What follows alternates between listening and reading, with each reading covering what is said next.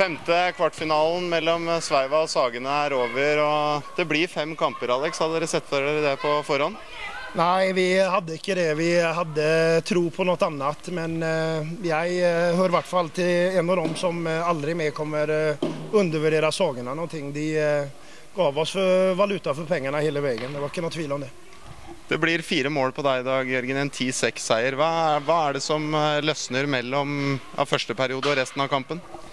Nei, det er mye at vi får fart på ballen. Rørelsen, så vi hadde jo våre sjanser i første, men eh, når vi får opp tempoet ett hakk til, så er det Jeg vet ikke hvor mange sjanser. Vi burde ha gjort enda flere mål, men eh, nei, jeg tror det er tempoet det sitter i.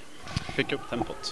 Hva er det du sier til gutta i pausen mellom første og andre periode, Alex? For det er to forskjellige Sveiva-lag som er på banen i dag. Det er ett i første som taper kampen 3-1, eh, er det vel. Og så er det ett lag som vinner i de siste to periodene. Hva er det som skjer i første periode? Ja, du kan si det at uh, det som er veldig markant i dette laget, er at de gjør den biten for oss trenere ganske lett. Uh, det er en forvånansverd forvånansvärd selvinnsikt i guttene med tanke på den alder de har. De har jo prestert så mange år som ungdomsspillere. og En av de oppgavene vi har hatt, det er å løfte nivået opp til elitenivået. De tingene der det har de fått med seg tidligere av sånne som Geir Bjerknes og, og selvsagt Kent som vi har med oss. Så, så det er noen ting som ligger. og, og det er klart at vi må være med og trigge dem et ekstra hakk, men det, det er så godt gjeng så at eh, det gjør, det gjør den biten for oss i trenerteamet relativt lett. Det det. Nå er det semifinale neste, Jørgen, og hvem tror du dere får?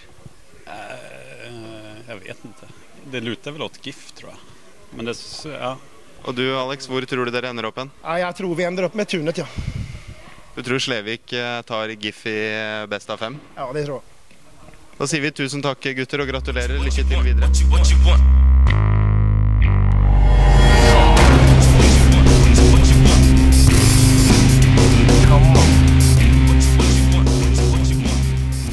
Gamlefar eh, Sveiva Sletten, hvordan er det å få være med til semifinale med dette Sveiva-laget her? Ja, Det er gøy.